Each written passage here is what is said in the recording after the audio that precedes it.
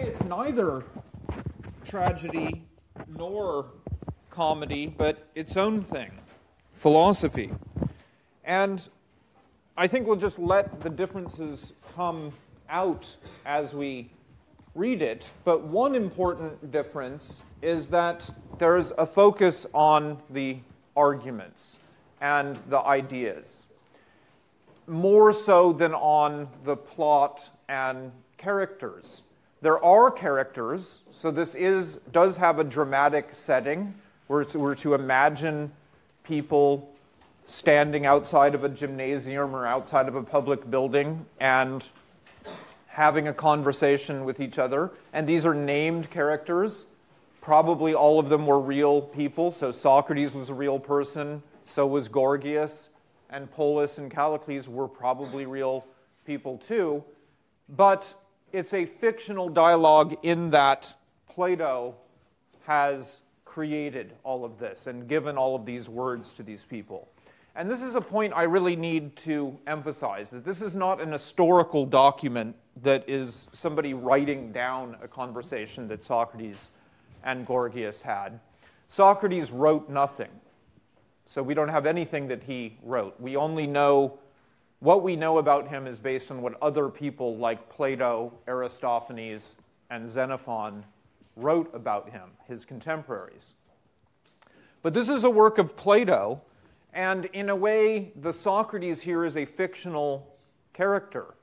And although Gorgias was a real person, and I told you a bit about some of his real writings last week, he is the, this dialogue that he engages in is made up, and these responses that he gives are supposed to represent the kinds of things he would say, but it's not actually historically what he said. So this is every bit a piece of fiction, just as our tragedies and comedies and epic poetry was.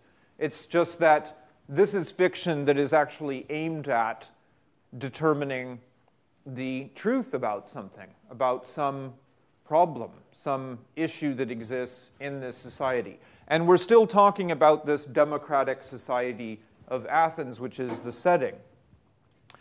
Um, now, I'll give you an idea of the overall structure of the work because it's quite long. You may have noticed in trying to read it. And the first point is that the, the, the exact genre of this work, we call this a Socratic dialogue.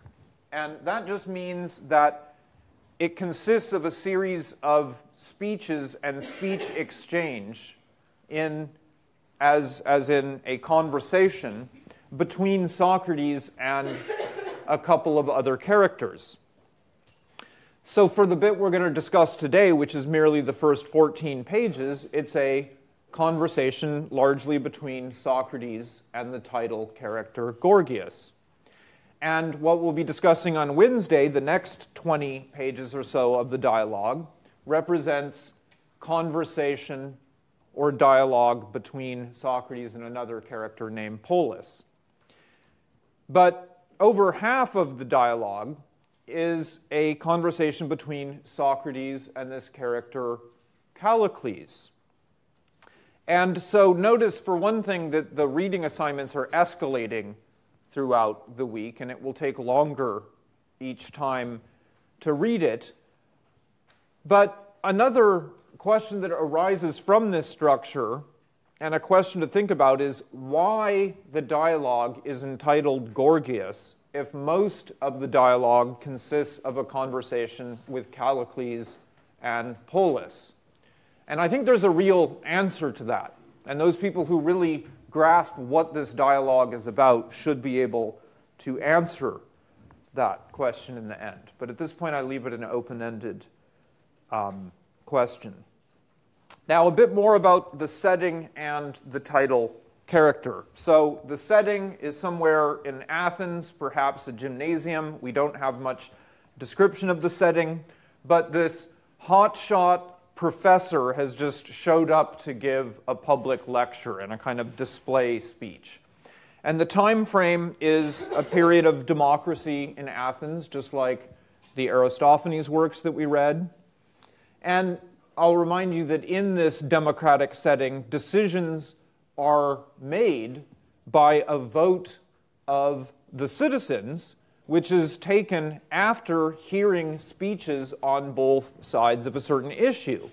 Thus, those who could speak better could persuade others about what to do in legal contexts, in political contexts, in military contexts, in business contexts, and so forth. Thus, being a good speaker was a means to legal and political power, which is why there was a market for people willing to pay to receive instruction. And remember, in Aristophanes, there was this idea of that you'd go down to the thinkery and pay these people to teach you how to argue. And that is exactly what Gorgias actually offered. In fact, Socrates did not accept pay from people, and as we'll see in the dialogue, he does not think you should train people how to persuade others without first teaching them how to reason and how to be good uh, people. But this description of paid teachers of persuasion of the worse argument or the better argument is an accurate description of what Gorgias offered to do. Gorgias himself, real person from Sicily, the presentation that he's supposed to have just given, the dialogue starts when his presentation is ended and Socrates shows up, shows up late on the sort of fringes of the, the, the, the lectures letting out and people are filing out and Socrates shows up at that point we can imagine that he's given some oratorical display using his considerable powers of speaking and composition. And remember that it's always more impressive to be able to de- defend a paradoxical or absurd or counterintuitive claim than it is to defend something obvious. So if I was to sit here and I could, I could, I could easily give you a speech to convince you that it's Monday, and that wouldn't be very interesting, and, and you wouldn't be awed by my rhetorical prowess if I was able to demonstrate that point. But if I was able to demonstrate that Helen of Troy, who you all think is this evil person who was the ultimate cause of the entire Trojan War, was actually a great, beautiful person that we should all be celebrating as, as being wonderful and a savior of Greece, then that would be an impressive speech. Or if I was to sit here and prove to you that you exist, or that this classroom exists, Actually, that's a lot more difficult than it sounds. In fact, it might be po- impossible to prove that. But that would be easier to prove than what Gorgias tries to prove in this work called On Not Being, where he tries to prove three theses I told you about before. Let's, let's all ring them out in, in succession. The first one is that nothing exists. The second proposition is even if something existed, you couldn't know anything about it. And even if something existed and you could know something about it, you couldn't communicate anything about it to anybody else. Those paradoxical claims he wrote a speech to defend and then gave this speech as a display to people to show I can prove that nothing exists, or I can prove that Helen of Troy was a great person. Therefore, I can prove people to make persuasive speeches about anything.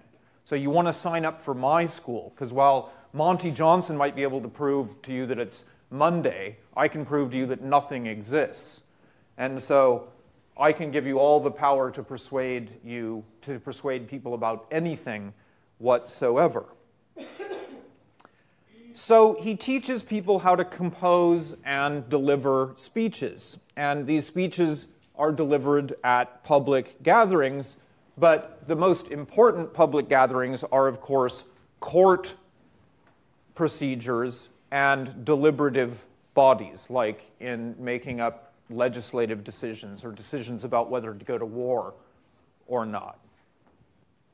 Okay, and by the way, as usual, stop me at any point in time if you want clarification of anything I'm saying or if you want to ask about a passage in the text or comment on it.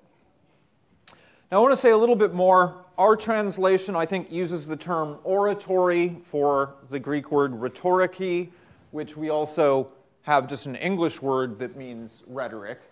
And that is ostensibly what the entire dialogue is about. So in, in antiquity, the Gorgias was actually given the title Gorgias or On Rhetoric or On Oratory. Um, and indeed, the question of what rhetoric is and what it can do frames the entire dialogue.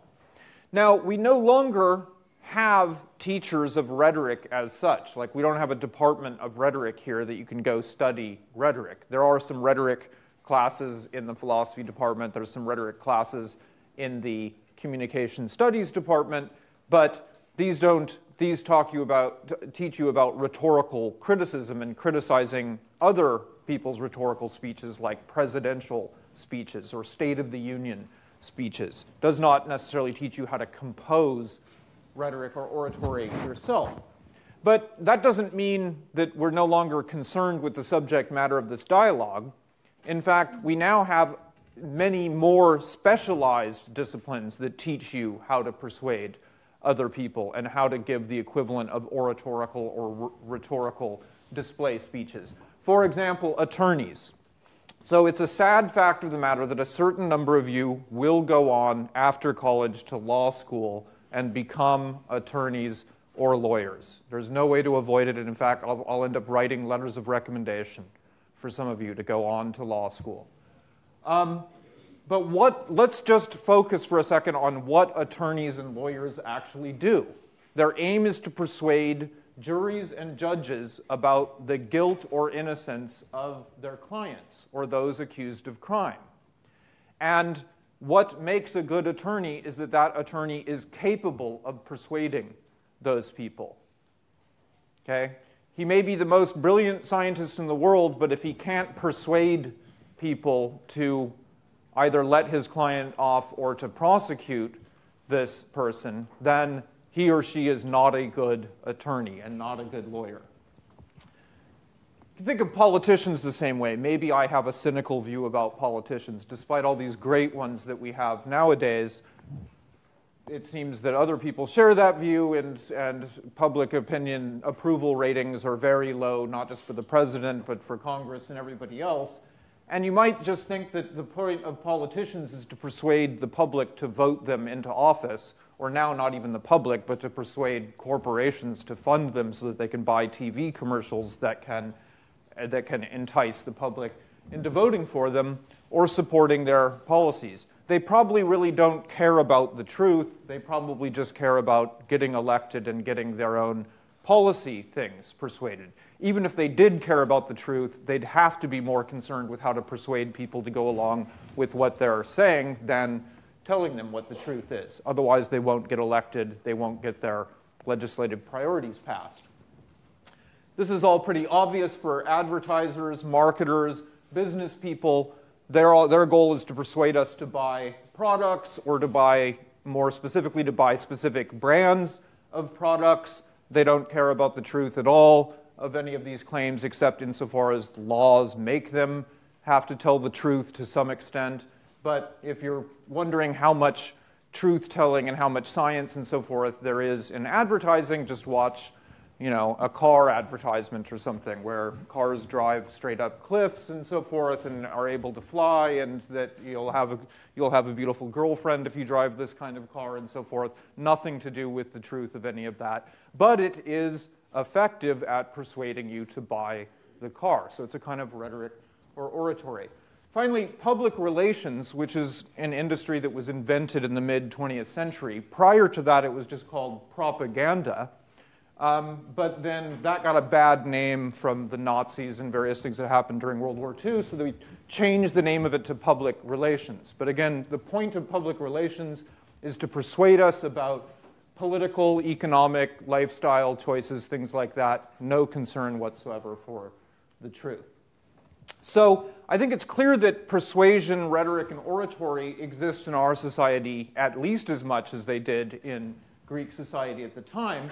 And in fact, since they now have access to mass media like radio, television, and the internet and so forth, newspapers, printing, if those still exist, um, mass public demonstrations and so forth, then the role of persuasion by language has, if anything, massively increased in our society. In fact, we're saturated with attempts to persuade us. And this is the whole crisis over fake news and the legitimacy of journalists and, and, everybody setting up their own echo chambers on Facebook and these other places that just, just keep telling them things to persuade them of their own beliefs and not really challenge them and certainly not seek out the truth. So I think that the, the, the basic problem that the dialogue is talking about is much worse for us than it was at the time. The fundamental moral issue here about whether you should teach people to be able to persuade others, whether they have good or bad motives in persuading,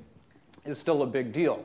And so now we teach this art in the context of specialized fields like law, business, marketing, communications, journalism, political science, and so forth.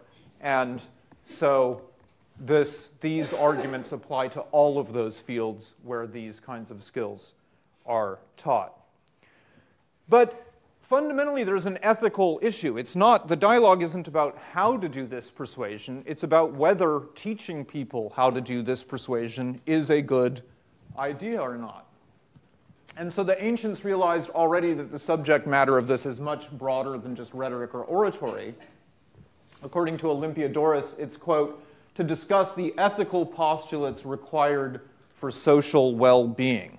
So, what are the moral requirements for the society to be doing well and living well? And in general, what is the moral basis for political action? And notice how the dialogue ends, the very ending of the dialogue. Here's, here's a translation from 527e. Socrates says, Let's use the account that has just been disclosed to us as our guide, one that indicates to us that this way of life is the best to practice justice and the rest of virtue, both in life and in death. Let us follow it then and call on others to do so, that is, to practice justice and the rest of virtue, both in life and in death. And let's not follow the one that you believe in. And here he's talking to Gorgias, Callicles, and Polus, the way of life you believe in, which is just persuading people however, by whatever means you want. And let's not follow that, and don't call on me to follow that, because that way of life is worthless. So it ends by making an extremely strong moral point and a strong moral condemnation of the kind of activity Gorgias is involved in. So it ends up that teaching itself teaching rhetoric, which is what the book is about, but teaching itself becomes morally problematic. And there's a question whether teaching people is a morally neutral enterprise. So, suppose I teach you a skill like how to use a firearm or some kind of martial arts, like I teach you boxing. Um, but I don't give you any moral instruction about who you should shoot or who you should clobber with this martial arts ability that I've taught you. Well, then you could use that skill, use those weapons, either for good or for ill. But if you use them more for ill, then you do worse both for yourself and for other people in the society than if I had not taught you those skills. So, therefore, there is a moral problem with teaching people skills like that. Like, it's, there, there, there might be a moral problem with teaching people nuclear physics, because after all, they could use nuclear physics to create a nuclear weapon, and that could be a, a big problem for them and for other people. And if rhetoric really is the most powerful skill around, as Gorgias and his students claim, then it can bring about the greatest ills and injustices if it's misused. And it seems to follow that I should not give any instruction in this skill without also giving instruction and in morality and justice. So the notion of morally neutral skills of rhetoric or oratory, or in general, skills in general, including martial arts or any other skill or technique that can possibly be abused in any way, is highly problematic. And I think it applies to this very class. To what extent should teachers of skills like interpreting texts, like writing about texts, speaking about texts, and discussing them, shouldn't we have to make sure that you're moral people before we teach you to do that? Because otherwise, some of you will go out to, you will take these skills and then you'll even develop them in, say, law school, and then go use them to defend corporations doing evil things like polluting the earth. And you'll use these linguistic and uh, skills for speaking, reading, interpreting, arguing, you'll use those to do harmful, bad things. Or, or some of you will go to work for marketing or advertising firms and convince people to buy things that are bad for them, and so forth.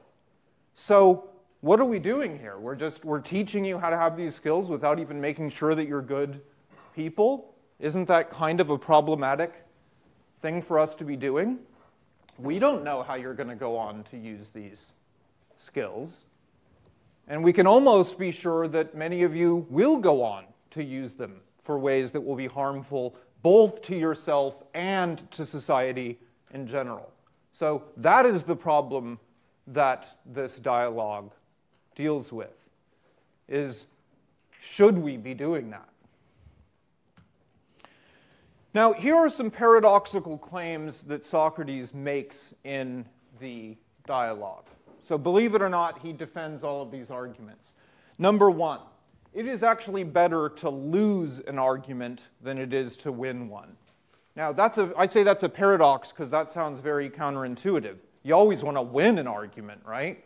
None of you set out to lose arguments. I mean, just arguments at cocktail parties or in, in run ins. You always want to win those arguments, right? Why would you want to lose them? Another paradoxical claim it is better to have someone commit a crime against you, to be unjust and do something wrong to you, than it is for you to do something wrong to them. And when I say it's better, I don't just mean in an abstract sense, I mean for you.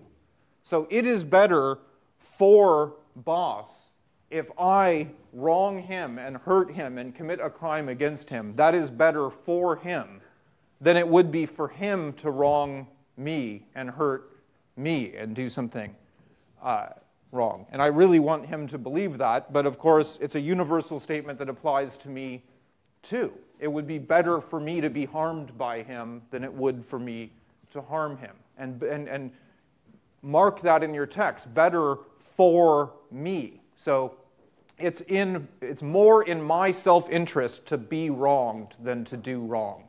Somehow, Socrates argues that point.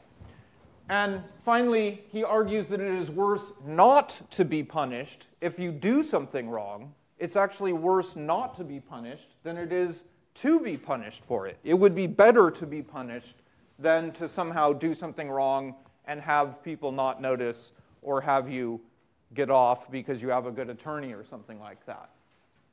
Okay, so all of those paradoxical claims are defended. Now, let me just give you a sampling of the way that Socrates argues. Here's, here's a passage in which part of the argument in defense of this first paradoxical claim is made. But it goes like this How could it be in my self interest to lose an argument? So think about it like this if we get in, in an argument, for example, about whether the earth is flat or whether it's spherical, and I think it's flat, and you're able to defeat me in that argument and prove that it's spherical, then I've actually benefited because I've learned the proof and the explanation and the argument for how the, how the earth really is. Whereas if I, if I win that argument and I defeat you, not only does the false view pervade, uh, uh, happen, but you don't benefit from it. So if you convince me that the earth really is spherical, that doesn't benefit you. You knew that all along. You're just dealing with some idiot that thinks the earth is flat. Okay? But I've been improved because I've now learned how things really are. And so when you win arguments, it's actually really lame because you're just left in the same condition that you were in before. But when you lose arguments and somebody refutes you, then you actually gain somehow. And again, notice that is talking about my self interest, not that it's just better because it's right in some abstract sense that the truth should win out or something. It's more in my self interest to get refuted because then I'm improved and benefited. Whereas if I'm, if I'm refuting you, I don't get any better. You get better if I defeat you in those arguments. And we'll examine in due course more arguments in support of that paradoxical conclusion and these other ones. But you should be thinking as you read it, how is he going to prove these points? Prima facie, these seem like ridiculous claims. But he does argue them, and, and arguably he does prove them. Now, let's just go to the very beginning in the first question he asks. So, Gorgias says, Look, I'm a master of rhetoric and persuasion. I can answer, I can give a speech on any topic, and it can be a long or a short speech, and I can take a question, any sort of question, from any comer, and I can give, in response to that, either a short answer or a long answer. So you pick. Give me any question and tell me how long you want the answer to be, and I can deliver it. Because I'm an absolute master of persuasive technique. So Socrates has the young student who's uh, Chaerephon, who's very enthusiastic about signing up with Gorgias. Wow, I gotta, I, this, is, this is like going to Harvard Law School. I'm going to be able to crush people in arguments if I, if I learn from this guy. Um, so I, I really want to do it, Socrates. And Socrates says, well, go ask him what skill he actually teaches. Right? And so he does. And it seems like a very simple question because if you made shoes and I said, What skill do you teach? you'd say cobblery. If you were a painter and I asked what skill you were able to teach, you'd say painting. And so the question here is, What skill do you teach? And you say it's rhetoric. So we got to figure out why, in what sense that is a skill. That's not as clear as making shoes or paintings or houses or cars or whatever. And in Greek, the question is what is your techne? Techne means skill, art, or craft. We can translate it in any of these ways. It's the root of a bunch of important English words like technology, which just means the science of mechanical or artistic production. The word technique, which means a mode of production in art. The idea of somebody being technical, which means they're an expert, or technocracy, government by experts. So the fundamental issue is do we have here a skill, art, or craft, a genuine technique? And if so, what is it able to do? So here's how Gorgias replies. Somebody asks him, What is what skill do you teach? What technique do you teach? And he says, I teach the one that partakes of the most admirable skills. And then he says that's speech making, which is the most admirable at all, of all. And so then the question is asked, well, speech making about what? And he says, well, about the greatest of all human concerns. So Gorgias replies that he teaches a skill of composing speeches about the greatest human concerns. And Socrates points out that his answer is not as good as he thinks it is. First of all, he merely gives a quality of the skill. He doesn't say what the skill is. So if I ask you, what's your major? And you say, oh, it's the best one, it's the most powerful one, then I'm probably talking to a business major, right? You know. Um, whereas if you ask a physicist, they say something very humble, like, I'm trying to find out more about nature, or something like that. Okay? But, you know, political scientist, yes, I'm studying politics, the greatest, I'm doing the most important thing. Doesn't tell me what it actually is. Also, everyone thinks that what they're doing is the best. So a doctor could say they're doing the best. They're, they're, they have the best skill because they save lives. And the banker could say, I have the best skill because I make wealth. And you know, the teacher could say that they're the best because I, I actually provide knowledge or something like that. So everybody thinks what they do is the best, and it doesn't answer the question. So Gorgias answers both of those criticisms. The first point that you merely told me a quality of the skill but not what it is by being more specific. He says, I teach the ability to persuade by speeches. And he also says, in the following contexts especially judges and juries in law courts, counselors in meetings, like bureaucrats or executives, and politicians in assemblies, legislatures and parliaments. So that's his paradigm. I teach people how to persuade others by speech in those contexts. And he responds to the second point that, hey, everybody thinks what they do is best, so you haven't really said anything there, by arguing that, in fact, the general ability to persuade people allows his students to subdue or even subjugate all other skilled professions. And for this reason, rhetoric is superior to all other skills. It's superior to doctors because if you have rhetoric, then you can convince people that you're better and have a better idea about what's healthy than doctors do.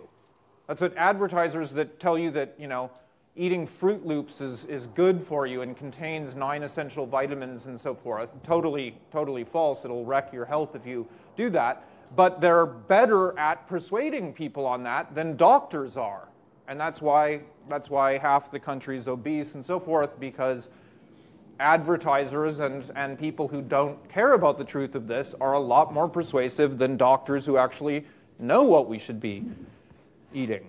And same thing in any of these other domains. So a rhetorician, if they're really good, sounds a lot better than a banker and convince you to invest in some harebrained scheme. It would have been better to put your money in a money market or whatever, but they convince you to, um, you know, buy this real estate at the top of the market or whatever. If they're persuasive, they can do that. And, and the mere banker who says, no, you ought to be conservative with your money doesn't sound as persuasive. So, in that sense, it is the best because it can crush all of the other ones and, and make them look bad. So then rhetoric gets defined as, as a producer of persuasion. Socrates offers that definition at 453a. And notice that this definition, producer of persuasion, works perfectly for all of our contemporary fields of rhetoric, like advertising, public relations, marketing, lawyers, all of those people are producers of persuasion. That's exactly what they do. And so Gorgias agrees with this definition, but he adds that the kind of persuasion he's most interested in is dealing with matters that are just and unjust. So Gorgias himself says that. He doesn't want to make it seem like, oh, I'm able to fleece people out of their money or I'm able to convince people to eat fatty foods when that's really a bad thing for them to do. No, I deal with these important things like law and order and justice and injustice. That's what my speech making power is about. Now, persuasion, Socrates points out, aims at creating conviction among audiences and listeners, that is, convincing audiences. And again, it does not aim to create knowledge. It doesn't aim to teach students things. It aims to give them an ability to persuade. Now, there is, a, there is a slight tangle here in that one could teach students how to persuade, in which case I might be giving them a certain knowledge, but that knowledge would, what, what they would know is not how to teach something or about some fact of the matter, but how to create conviction in others. So again, a lawyer doesn't aim to teach the jury something. She aims to convince a jury about the guilt or innocence of a client. And an advertiser doesn't aim to teach you about a product, but aims to convince you to buy the product. Now, contrast this with learning in fields like engineering, architecture, physics, chemistry, mathematics, etc. In those fields, one doesn't learn how to persuade other people that one knows a lot about mathematics or chemistry. Rather, you actually want to know and learn the truth about that subject area insofar as it is known. And if you have a really good teacher, they also explain to you what isn't known in the field and what needs further research. Okay, but there, there is no rhetoric classes that go along with your chemistry classes. I mean, there might be a general education requirement, but you don't have to take rhetoric for that. Why don't we teach people how to persuade when we're making turning them into chemists or physicists or mathematicians? Because it's irrelevant. The point of the field is not to persuade people that you know what you're talking about, but to actually know what you're talking about. And that's a big difference. Now, Gorgias holds that rhetoric will be useful in any meeting in which people have to make a decision, but Socrates presses him on what kinds of meetings should actually need people that are trained in rhetoric. So, if we're meeting to decide whether we should build a bridge or a house or an army, then we consult engineers, architects, and generals. Since those people presumably know something about bridges, houses, and armies. We don't go out and consult advertisers and public relations specialists and attorneys and so forth. And that's because possession of those kinds of skills, like how to build a bridge, how to make a house, how to outfit an army, actually involves knowledge about these subjects and not mere persuasion. And Gorgias responds that politicians, at least persuasive ones, are really the ones that call the shots. And in fact, they do decide what public works get built, whether housing developments go through or not whether the military is funded and to what extent. They actually do decide. It's politicians that decide whether we're supporting the F 18 or not deciding it.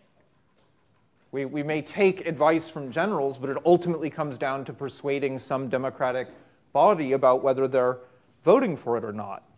So the person who is skilled in persuasion can persuade audiences to follow his or her instructions rather than those of experts in a specific skill, like doctors, architects, engineers, and so on. But in response to this, Gorgias says, look, one shouldn't abuse rhetoric like that. And he has this, has this very almost naive approach to it. They should use rhetoric like any other competitive skill, he says, and not to just defeat anyone and everyone. And then he makes an analogy to boxing. If I teach someone how to box, then they ought to use this skill against other skilled boxers or those who are training to be boxers. Maybe they should also use it in self defense, but they shouldn't just use it against friends and family or innocent bystanders. They shouldn't use this skill. Right? So there is a moral there is a moral fact of the matter about who it should be used against and the teacher of that skill wouldn't seem to be responsible for making sure that the person actually is moral. But the fact of the matter is that pupils do pervert the strength and skills of the things we teach them, and they misuse those skills.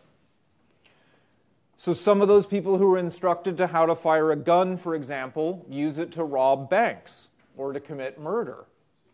And that's a problem.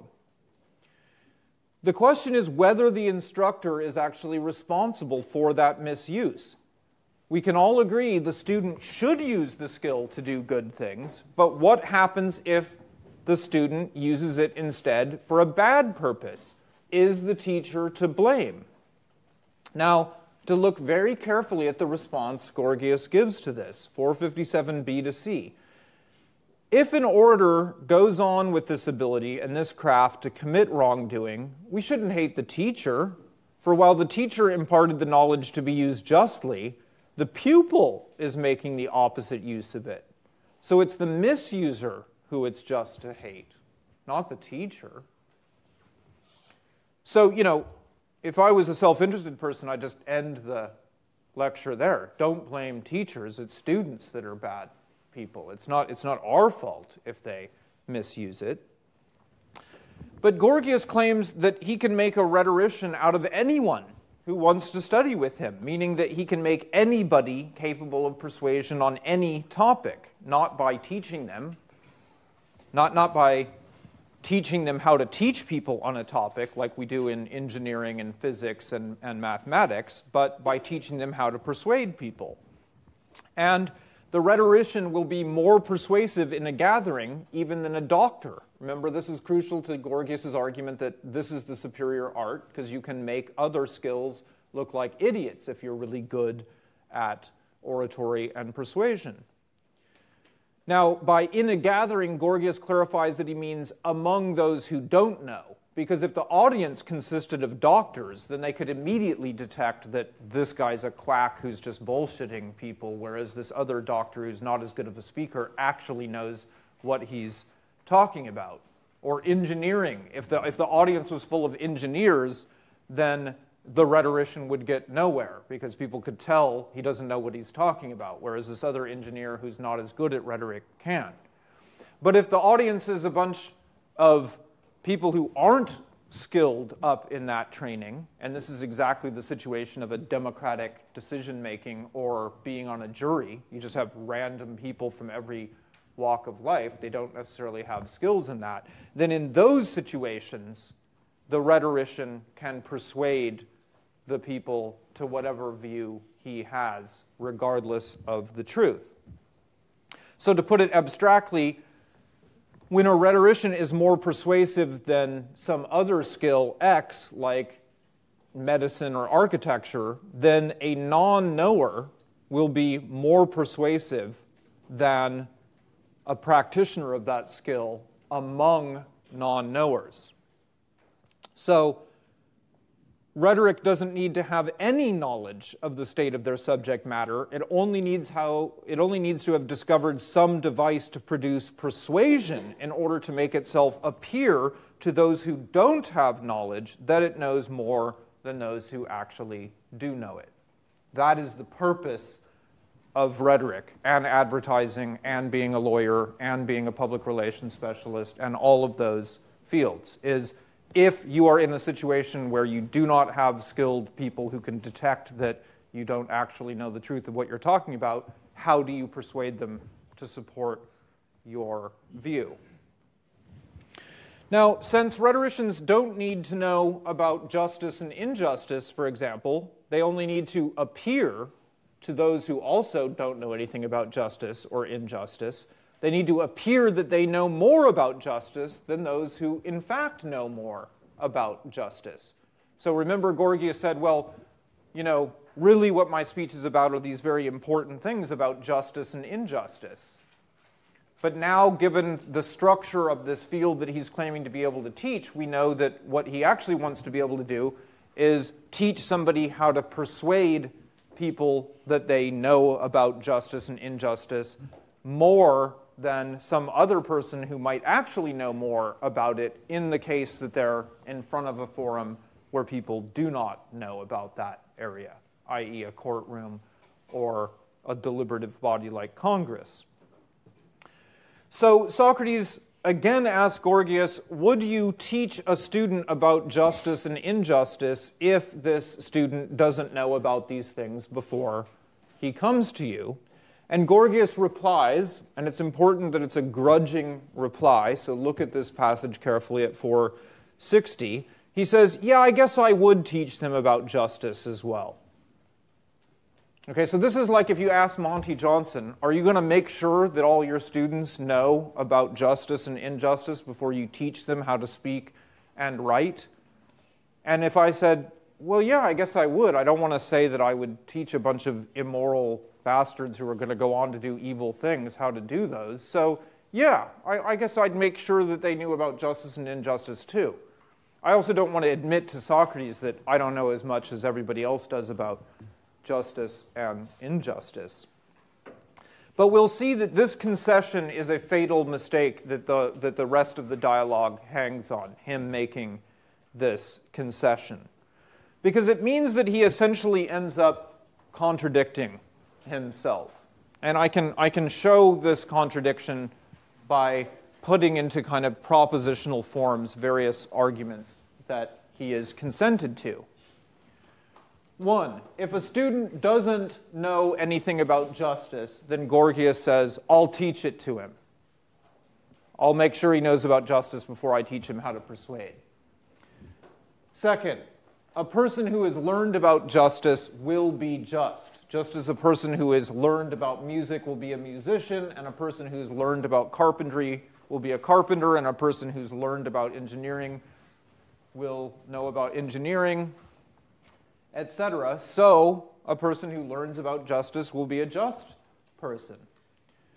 Thus, if teaching does imply learning, and I think it does, just flapping your lips in front of a classroom isn't teaching. If the students aren't actually learning anything, then no teaching is going on. If that's true, then any student of Gorgias will be just, since he will teach them about justice, and the person who learns about something will be a person of that kind. But earlier, Gorgias said that a teacher is not responsible if his or her student uses rhetoric unjustly. Right? Just as a teacher of medicine isn't responsible if the student uses the knowledge not in order to cure diseases but create them. Like the student uses what they learned in biology to create bioweapons or poisons to use on people because they have that, that knowledge. And we think that the biologist that taught them how to do these things isn't responsible, it's the student themselves. But any student who uses knowledge unjustly will ipso facto, or for that very reason, be unjust. Anybody doing anything unjustly is, by that by definition, unjust. So Gorgias' students are both just and unjust at the same time. They're just because they must have learned about justice from him, but they're unjust because they go on to do abusive things. So Gorgias' position is incoherent. He, he produces both just and unjust people. And the important thing is that he teaches them how to persuade others that they know more about justice than people that actually do know something about justice. And so that is the problem. Now, which argument should Gorgias where, where did he go wrong in his reasoning? How did he get led down this annoying path where, where Socrates shows up a master of argument and persuasion and I can answer any question that you put to me? How did Socrates trip him up and make him contradict himself and come up with an incoherent position? What should he have said or done differently? Or is it just, does he just have the wrong position? Does, he, does, it, does what he's saying not make any sense? Is there, is there anything he could have said differently in defense of teaching people how to make persuasive speeches? Anybody have any thoughts on this? Yeah.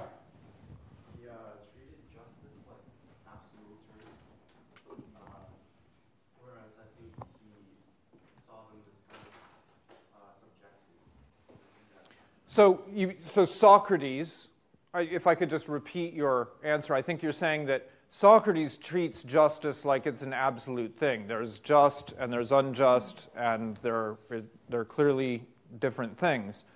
But you say Gorgias was answering as if it's more fluid and it's not, there's not as much of a distinction between just and unjust.